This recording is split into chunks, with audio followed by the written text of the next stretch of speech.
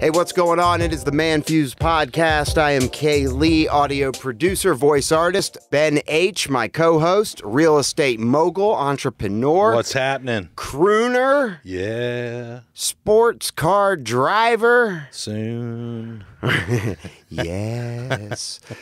Hey, if you guys have any uh, thoughts, opinions on the show, you want to join the show, if you have any funny videos you want to submit, just go to manfuzed.com. If you learn something, if it's funny, if you laugh, share it with a friend, share it with your mom, Absolutely. share it with your significant other Oh, yeah. It'll bring you closer together. or not. or farther apart, you know. Okay, your taste is obviously completely different than mine. It'd be a shame, wouldn't it? Maybe it would save uh, somebody's future. Like, and you know, they don't waste their time. It's true.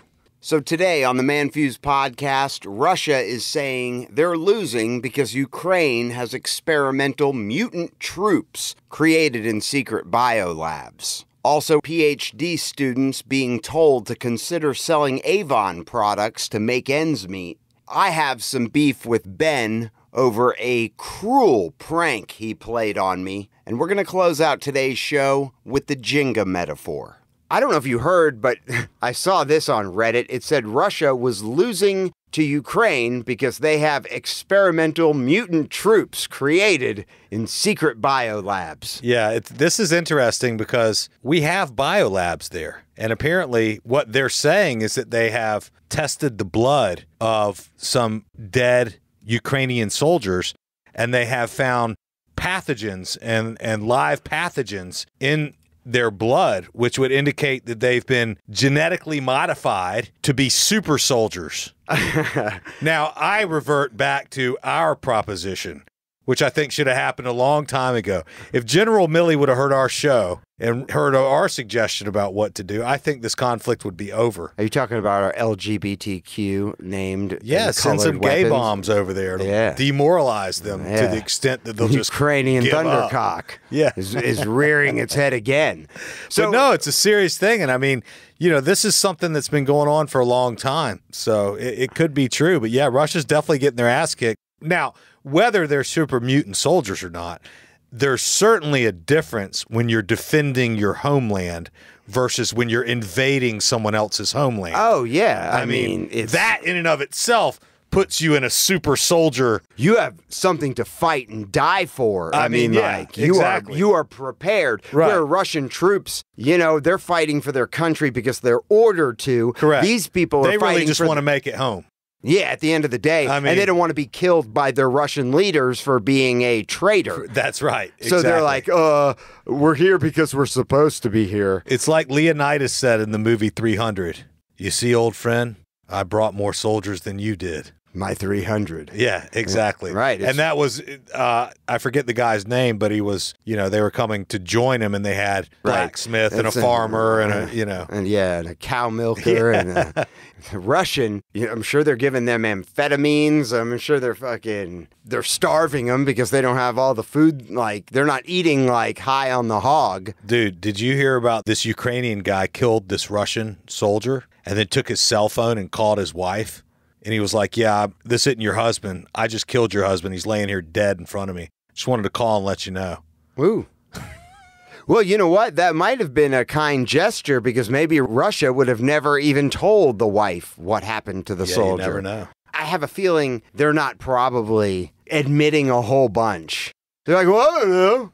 I don't know. Well, it's a it's a really interesting conflict, and it's unfortunate. I mean, so far, the uh, Democrat-led House, Senate, presidency has sent sixty-nine billion with a B dollars to Ukraine, and at the end of the day, dude, this is all about the skim. I mean, hey, I'll tell you what, Zelensky, I'll send you sixty-nine B but we got to find some way to get half of that back in our own pockets. And guess what? It's coming right out of your pocket, right out of my pocket. It's taxpayer money. It's coming out of the pensions that are All the money we're giving to Ukraine. correct. Yeah. Yeah, it's you you pay taxes, it goes to Ukraine so that ultimately the people in charge of sending the money can skim it back to themselves tax free. The hustle. Another article I saw, I've always felt this way. I'm not a college graduate. I'm not even a high school graduate. I'm a high school dropout with a good enough diploma, a GED. There you go. I got my $500 gift certificate to the community college of my choice. There you I go. mean, if I was accepted, which I didn't fucking use. And I've always felt that to me, unless you're going to be a doctor, Yeah. where obviously you need a superior amount Yeah. of training. right. I always felt in my heart of hearts and through the business books I've read and through the mindset I've always had that going to school to get a good education, to get a job, to work for somebody is like getting a one way ticket to an island where everyone's trying to get the fuck off. Yeah, I, I don't disagree with that whatsoever. And I will say that even though someone like yourself may not have a high level of education from the perspective of the piece of paper that you hold or what you did when you were 17, I you're a very learned person. You know, I mean, you're a really smart guy. And I know a lot of other people who are very successful like you are in multiple different facets of life. Like myself, I mean, I, I don't have a college degree. No. Um, you know, and right, but you got you went I mean, grind, dude. Yeah, you I grind. freaking hustle. Well, you have street smart, which I think is huge. yeah. Street smarts is, you know, gives you I a went way- to the army instead of going to college. Right. And I think, you know, but being street smart and book smart, if I had to choose one, I'll take the streets over book every Well, day you the week. own, you started a tattoo piercing parlor and got a big piece of that, and you're owner of, you're entrepreneur. And I got my real you're in your estate license and I got my broker's license. Yeah. But but still, but like you're working for yourself. Yes. You know, you're hustling and you're grinding. Yes. But like these people that are going to get PhDs, they are literally going to get a job at a lab and you know, they're working, you know, for some big entity. Right. where I mean, they're just a fucking blip. So the article was that um, it said PhD students were told to consider selling Avon products to make ends meet. Yeah. And it just went on to say that even these people who get their PhDs just end up getting fucked up. Even some of these people that are making, I mean, it was saying here that, uh, that I mean, you could make a hundred grand, but then by the time you're done paying off the school, Yeah. And the amount you're working, you're barely making ends meet. Look, man, I you know I've got uh, a a buddy of mine who's a doctor. The insurance for, to be a doctor Yeah. or a dentist Yeah. is in. He doesn't take insurance. No, I'm saying, But but, they don't you take- have to be insured. What they have to pay in case they fuck someone up, Yeah, dude. is insane. But along those same lines, he does not take insurance. We'll take your card. You cannot run your insurance. We'll give you the invoice and you can send it to your in- insurance if you want, but they don't work through insurance. And, you know, for him to go and be a doctor somewhere, he could make, you know, whatever, 150 grand, 200 grand, something like that, maybe more, depending on what kind of profession you're in. Well, instead of doing that, he's decided to take the hustle route, the grind route, and he's now an owner of multiple franchises that they're expanding. And it all comes down to sales, man. I talk about this often. Every aspect of business literally comes down to sales, it always does. Whatever function is causing the sales to occur, whatever is the lead generation source of that business that takes it from open to close, that's the highest valued position in the world. That is the highest paying job on the planet is the development of the business. I don't care. You could take NFL football, you could go uh, doctor, you could go grocery store, all any job you can think of. The lion's share of the income is coming from the procurer of the sales the business. whether it's the product or the service. And so these guys go and get a PhD, go work for someone else who procures business that you can work on. right, right. And you can get a little piece of right, that. Right, but you, you're basically handling all the back end shit Yeah. because they've already they've got the business coming in, the funnel. Yeah. You get a PhD in what? Psychology. So you're either going to have your own practice or you're going to go work for someone else's practice. You've got to generate a book of business just That's like true. anybody else. You know what I'm saying? Oh, absolutely, absolutely. You go get a job at a lab. Well, who's generating the business? Well, the lab is. Well, how are they doing that? Well, somebody is making a connection with the person in charge at the hospital and securing a contract for their lab or And that- marketing or just whatever they're and doing. that's the guy that's getting paid the money. right. The Yeah. guy that's working on the the you know whatever it is is you know I mean yeah maybe maybe they get paid 80 100 G's a year it's fine it's not bad money but I, I'm with you man I mean what do you think I mean as far as your kids in education because I don't disagree but at the same time I know great attorneys I know great Well, doctors if you're an attorney, you've I got know really smart law. people Hell yeah. that just love school. I mean, I've known people who are so smart that they should be in school. Right? you know what I mean? Well- and they love it. I, I'm going to just throw a number out. 75% of people that go to school, they have an idea of what they want to do. Yeah. They achieve what they want to do, and then they Right. find out this isn't what I want to do. Right. Or they're having trouble getting, you know, placed or hired. I've always tried to have mentors. If I'm looking at something, I'm going to go talk to somebody who is at the top of their game and what they do in that area. Yeah. And I'm going to find out if they're fucking happy. Yeah. Because a lot of times you get to a place and you know, and some of these fucking guys, like some dentists, I mean, like I've known some dentists that are like, this shit sucks. Yeah. They Imagine fucking hate down it. Somebody's They're making throat all day, dude. Well, besides that, it's the, the insurance that they have to pay. Yeah. Uh, They're, they're bleeding them dry. Yeah. You know, um, it's not sustainable That's right. It's not sustaining their happiness. That's right. In, in you know, yeah, you're helping some fucking rotten tooth motherfucker have a nice grill. It's not what they thought it was going to be 10, 12 hours a day, Yeah. every day, you know, appointment after appointment after whiny fucking Absolutely. customer. And how do you develop the business? Well, you got to rent a space, you got to have a sign. You've got to have fucking medical number one staff and if two. you're a fucking dentist. Yeah. You know, I mean, you got to be the dentist. You got to have, you know, people got to be able to see you. People know you. Small town dentists do pretty well because everybody knows who they are, and you can do father, son, you know, and it can go throughout the family. But I'll tell you this But it's not passive income. It requires their ass to be there unless they have a few dentists working under their practice. if I had to do it all over again, Please tell us, Ben. there are two separate avenues other than the one I took that I could have gone on, and both would have required me to be a very, very good student. Obviously, I didn't take that route, and I'm fine with that. But you are a student of your own Yes. I mean, in Of school, your I would have had to make really good grades. of your own pursuit. What would you have been? so, in in one hand, after my military experience, An attorney. I no, after my military experience, I thought I would fucking fly fighter jets. Oh God, Top yeah. Gun, Oh, God. Maverick, Oh, Tom that's Cruise. one of my fucking- just blasting off of uh, aircraft carriers. I'm blasting in my pants Oh, right now. yeah. It's like going one of my dreams. 800 miles an hour, hair on fire, mm. banging hot girls. I mean, dude, I mean, the fighter pilots are the coolest motherfuckers on the planet. dude. Mach 2 Oh, just dude. fucking Yeah. yeah. But like, that is like the percentage of those Yeah. who become that are Well, that's what I'm saying. Yeah. But I could have done it. you I could mean, have. I could have done Why it. didn't you? What stopped you? I didn't want it. I, I didn't know. I mean, I just didn't. I didn't have that clarity. Were you just like but when you had a chance to get out of the army, were you like, I'm getting fucking out of the army? Well, I had to get out of the army. I was in a bad car accident. I wasn't going to get out. It was a car accident that I was in. I was going to special operations, but I got into a bad car accident and it crushed my leg, Ah. and uh, and so I couldn't continue in combat arms. Ah. Um, But would that have held kept you from doing pilot?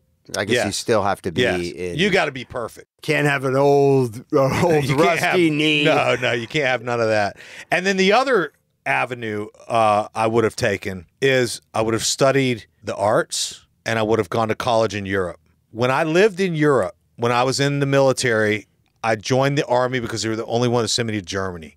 And when I lived there, I met a lot of students who were my age because I was in my early 20s. So a lot of the girls and the guys that I became friends with just in the towns were students. This is just such an incredible way to do college. And I actually went to Rome about five or six years ago, and it struck me. When I was in Rome, I said, I wish my parents would have showed me this around my middle school age because I bet I would have just zeroed in on doing anything possible to go to school there. Going to school in Rome would be one of the coolest fucking things that a human being could do. Oh yeah, I'll bet. It is just sick there. and to go to the beautiful women and unbelievable food. Mm. A lot of places you go and you got to like, you know, they have like everything's roped off and these old ancient sites and stuff like that. Dude, in Rome, you're in that shit. You can walk in the You're walking around in it.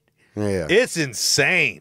It's yeah, crazy. I haven't been to Rome, and I really would. so those are two reasons why I would have, could have, should have. So you would have gone to school in Rome just to go to school in Rome. I would have done whatever it took.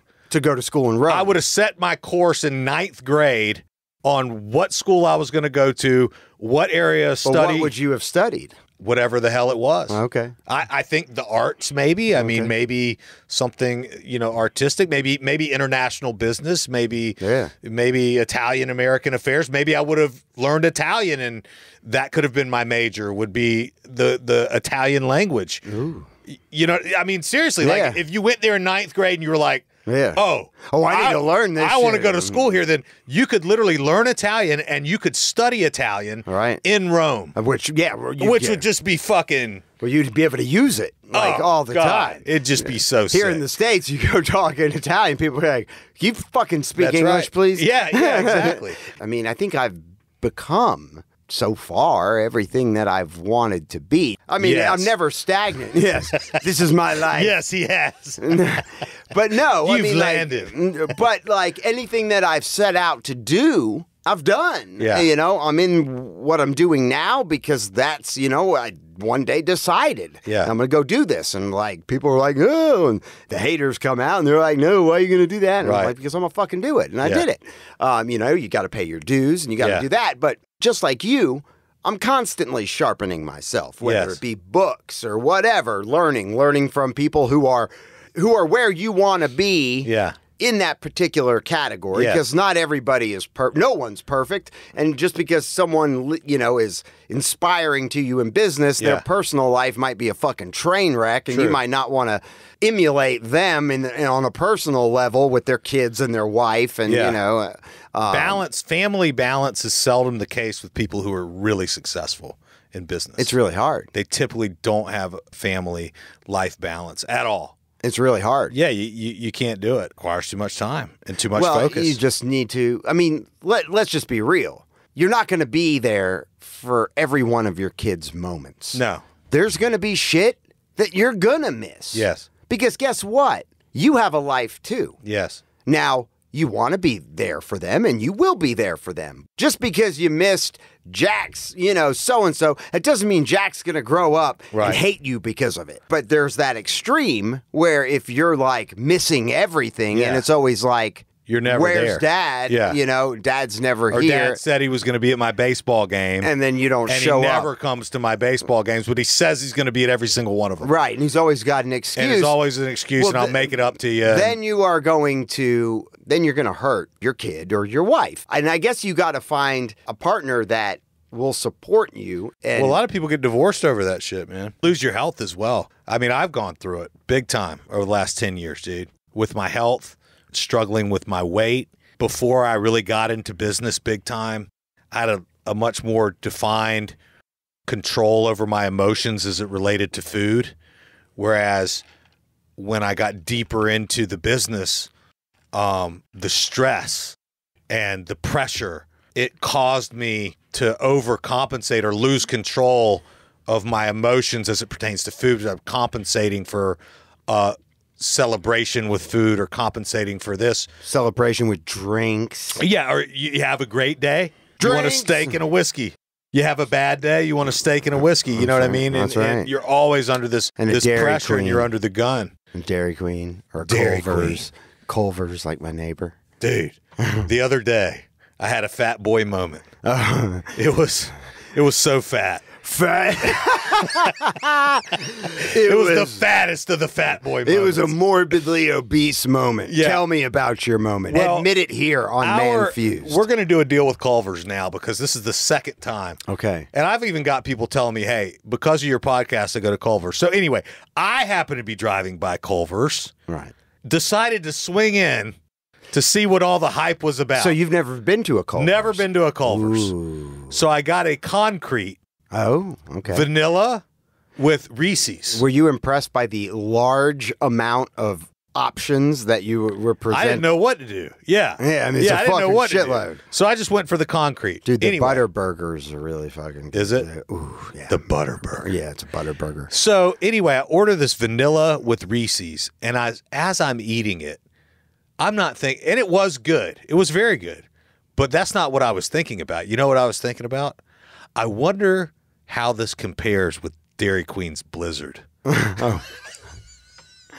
So, So you know what I did. you squealed out. I drove straight to Dairy Queen. Did you have while I was side by eating. side? No, no, I ate the Culvers on Oh, the way you to should have Dairy had. Queen. You should have videoed and done a a post. We should. You should have Yeah, done the side by it. side comparison. We're gonna do it. And and so, what was your what was your thought? Dairy Queen all day.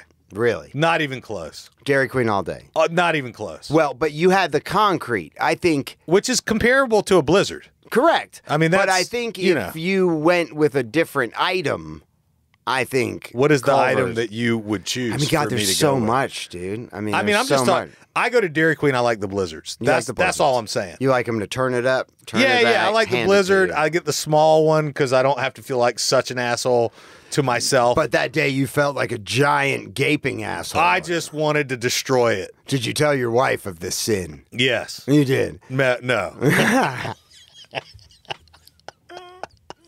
I'm not hungry, babe. I, I had a light lunch. I did not tell her of this discrepancy, this little private moment Oh, that I the, had. the Blizzard is so good, dude. it is good. Did it's you get a small blizzard? yes. And did, what did you get there? I got uh I got the chocolate Blizzard Ooh. with Reese's. Oh, nice.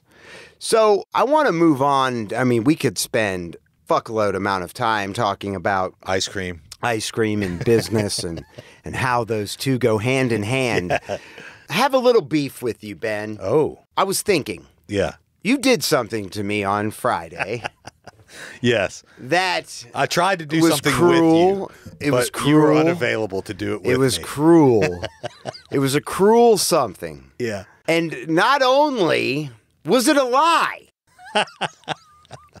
but you let me go the entire weekend believing something was so. I'm a horrible friend. So I ask our audience, what is the worst prank Yeah. anybody has ever played on you? Right. Please, if you have one, if you know of somebody where maybe you've done it to somebody else, hit us up at manfuzed.com because I think Ben, Yeah. he hurt me. Yes. So this is the scene. Friday, I wasn't thinking about it, but my wife was over at your house for Yeah. a brief moment. Yes. And my wife leaves, handles stuff with your wife. They Yeah. do whatever they do, and my wife comes home. Correct. And I never thought anything about it. I get a phone call from Ben. I well, see. I we see- learned that she was going to be out of town for a day or something like that. Correct. My wife was leaving And town. that's what prompted me. Okay, so my wife was leaving town um, on Saturday. Yes. For about 24 hours. Yes. So I get a call from Ben H. And I'm not putting connecting the dots. I see Ben's calling. I'm like, "What up, bro? Yeah. How are you?" He's like, "What's going on?" He's like, "Hey, you know, one of my really wealthy clients just hit me up, and he's chartering a plane down to the Bahamas to look at this like multi-billion-dollar property." Yes. And at first, I thought Ben was just calling to brag. And I'm like, well, that's great, Ben. That's fucking awesome. It sounds amazing. And he's like, yeah, they're, I'm like, where are you staying? He's like, well, they're chartering a yacht. So we're going from the plane, this like G5. G5. Yeah, Yeah. G5 sick ass plane, straight to the yacht. And we're going to be there for, it's going to be like Two nights. two nights, turn and burn. Yeah, we're just gonna we be- have to be in the yacht so we can see the property from the ocean. Right. It's going to be bananas. It's going to be epic. I'm like, man, it sounds beautiful. He's like, there's an extra seat. He's like, but we're leaving in two hours. And I was like, fuck. and in my mind, And I let it marinate. in my mind, I'm going, okay, what do I got to do? What have I committed to do? How can I break it? What can I do? All right, I'm going to have to tell my wife she can't go out of can't go town to now. Alabama. She's going to have to sacrifice her personal time, Right. her alone time, which she so deserves Yes. while I have the opportunity to ride on a G5 and Yeah. stay on a yacht. Right. And Ben's like, oh, and you got to bring a few collared shirts, which I have. But if you see me on a typical day, I'm not normally wearing No. a collared shirt. Now I can pull one off Definitely. wonderfully, but He's that's not my man. that's not my go-to. That's not that's not what I would go to. But Right. being around, you know, um, somebody that was so wealthy, if I had to dress a little, you know, if I had to, if I had to wear collared Just a shirts, golf shirt, some you know, pink fucking short shorts Yeah, with exactly. some with some loafers with no socks, then I'll fucking do it. I'll, That's I'll it. fucking wax my legs That's and it. I'll get out there. so I'm like, dude. We had so much fun. I'm like, It was amazing. Fuck you, Ben. I'm like, dude, I can't. I can't. I'm like, I'm committed. I'm committed to going to this thing because I was actually going to this live podcast um, with one of my colleagues who was doing it, whose podcast has been uh, for about two years longer than ours. And, you know, so obviously they have a bigger following. Yeah. Um, but I was doing research for Yes. us Yes. To see how they handled it, how it was managed, how it went. And I'm like, okay, I committed to go to that, which I could cancel. You're like, man, well, I'll be back uh, like late Sunday. Have a nice weekend. Yeah, I'm like, thanks, Ben. You have a great time. So my wife comes home. Now I'm thinking to myself, okay, I have two hours to make something happen. Right. So my brain starts working. My wife, she's like, "Who was that?" And I was like, "Oh, it was Ben." I was like, uh, "Babe, can we can we talk about something?" And she's like, "What?" And I was like, "Was there any way that um, She probably thought you were trying to get some. no, is, you would forego your going out of town this weekend um, so I can hop on a G5 plane, which is kind of at this point in my life a once in a lifetime opportunity. Never Yes. been on one. Never stayed on a big yacht before either. Right. And I don't know how big the yacht was. And then you see that About look. hundred footer. Yeah. You see that look come over her face like, you have to be fucking kidding me. Yeah, because she's ready to go. Oh yeah, dude, her bags were basically packed. So that Yeah. starts. It was her mom's birthday. shut up, Ben. so that starts a fight. That starts a fight. I get in a fight with my wife. A huge fight. A huge fight, and I'm like, and I'm pissed. I'm now I'm mad, and she has every right to be mad, but now I'm fucking mad Yeah. because she doesn't see that this is a once in a lifetime opportunity. Or care. So what do I do? yeah. I tuck my wiener in between my legs. Yeah. and I go pout. Yes. All right, and I'm in a bad mood, Yeah. and I'm thinking about it all day Saturday. Yeah. I could be in the fucking G5 down on a yacht in the Yeah. Bahamas looking at With property Pink shorts. with pink shorts and my w- legs waxed, and yeah, that's me. Come back all tan, like what? Oh yeah. so I'm mad. She's fucking mad. Yeah. She goes out of town, mad. Right. And I don't really have much to say to her. I mean, you can go do what you were going to do anytime. Shit, Yeah. I'll give you two days. I'll That's give you three days. Yes. She wasn't having it. I tried to bargain. I tried to negotiate. Right. Wasn't happening. So finally, I, I couldn't be mad any longer. All right, babe, I support you in what you do, Yeah. but I'm probably going to pout. You just accepted the fact that this Right. was just Yep. Mhm. called in too late. Right. And then I come to find out, Ben, Yeah. on Sunday morning, I see a post from your wife Yeah. that you have company in town. and there you are, blowing up a fucking slip and slide in your yard as your kids are running down it. Yeah. I haven't called you because I don't wanted you to tell me how great Yeah. of a fucking time You're just you're imagining me on planes and yachts. That was a balling out of control. Did you ever think? Were you, did you mean like were you going to be like an hour later, be like, No. "Hey, I'm just joking," or did you just forget about the whole fact that you just fucking told me that I so actually, I could I actually wrote a text after we hung up, and I said, "Just fucking with you," and you never sent it. and I forgot to send it.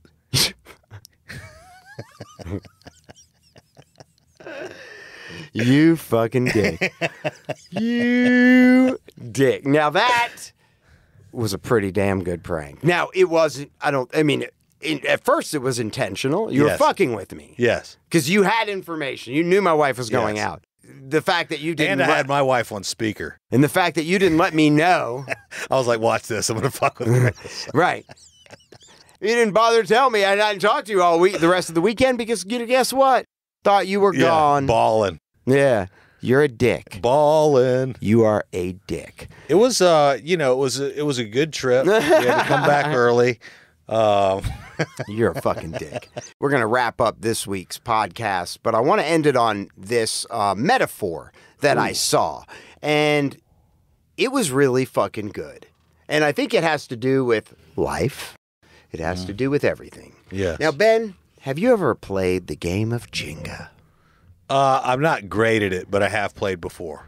Okay, so for those of you who are unfamiliar with the infamous board game, the game is first set up by its participants who stack these wooden blocks together in one direction.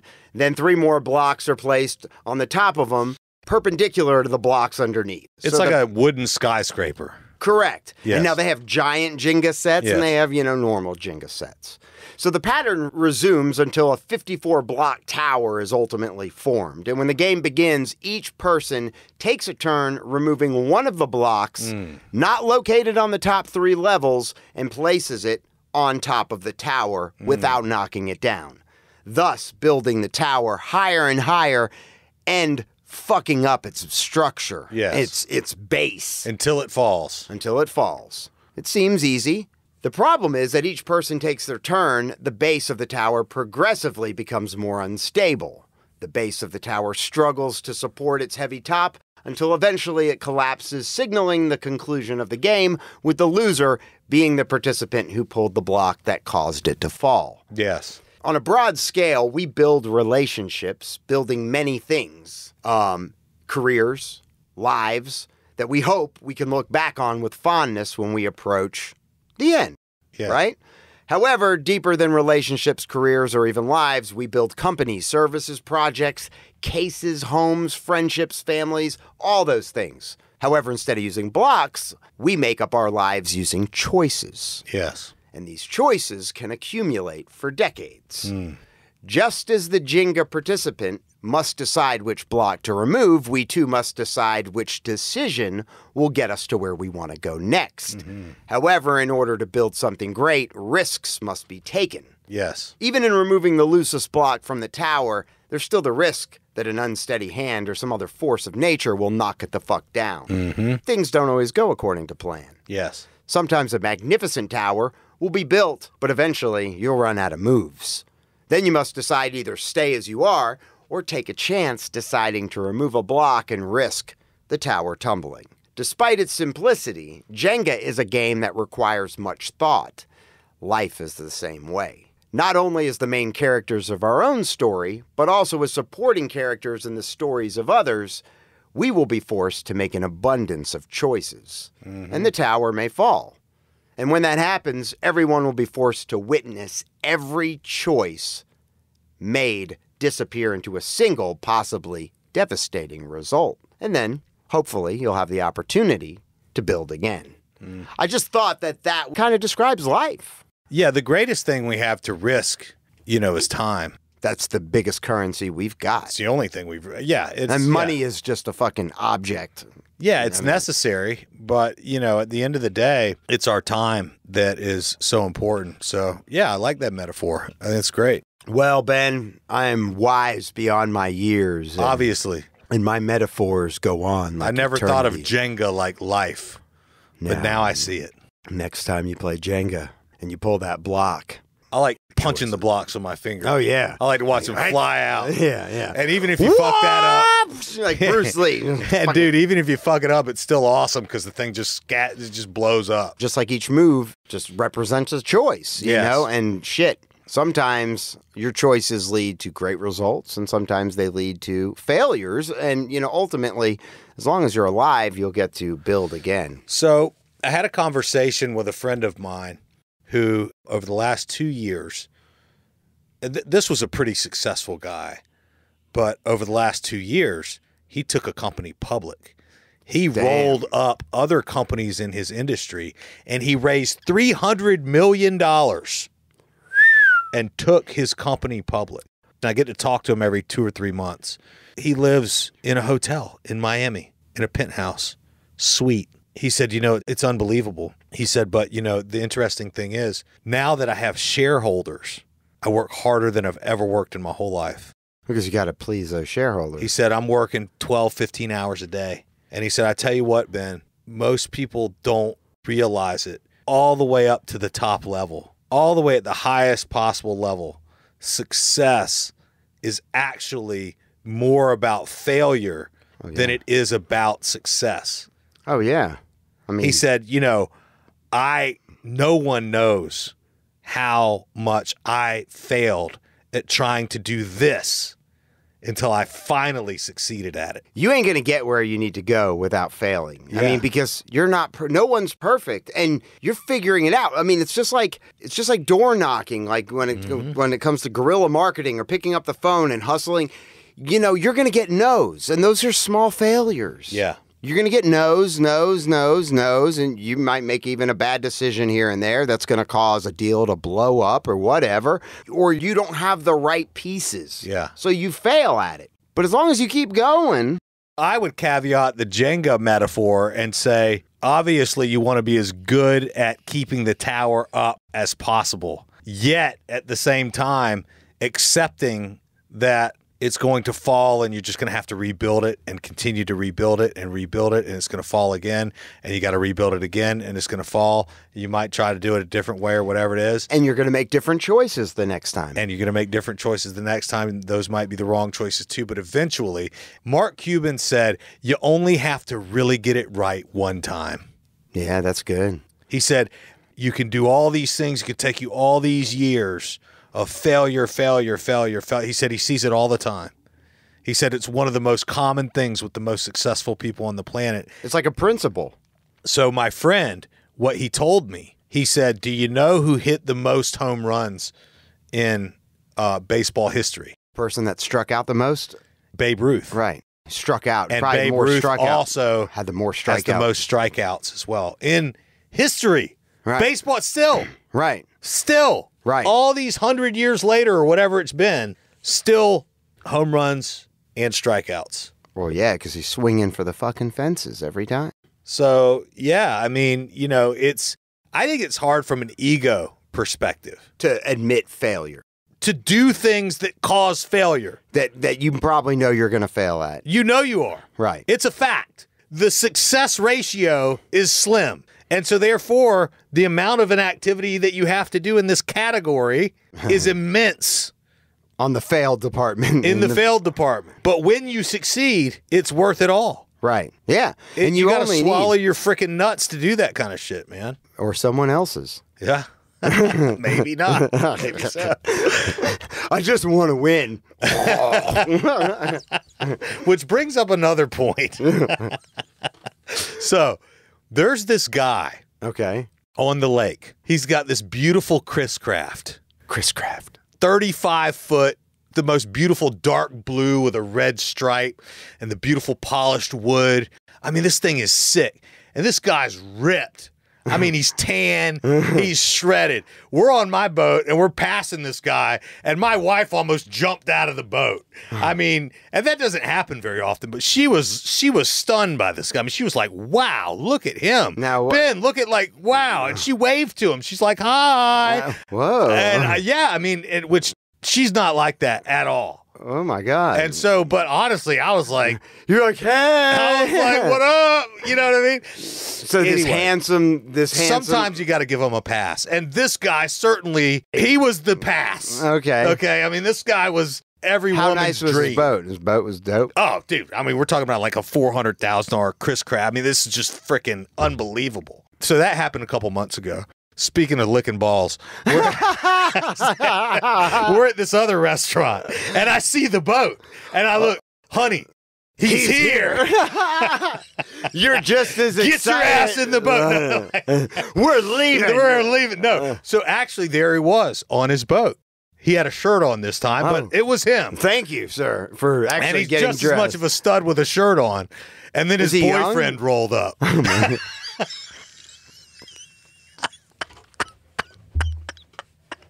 and like smacked his ass. It's a good game, baby. Uh, uh, uh. what did you look Oh. Did you did you start laughing? I looked at Jen and I just chuckled. oh hey! She was like, I, Uh, never mind. Now, that would have been funny if you would have been like, "Hey, What's up, boys? Yeah.